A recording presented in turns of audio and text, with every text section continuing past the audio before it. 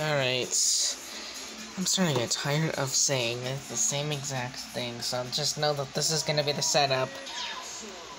So... Yay, I guess.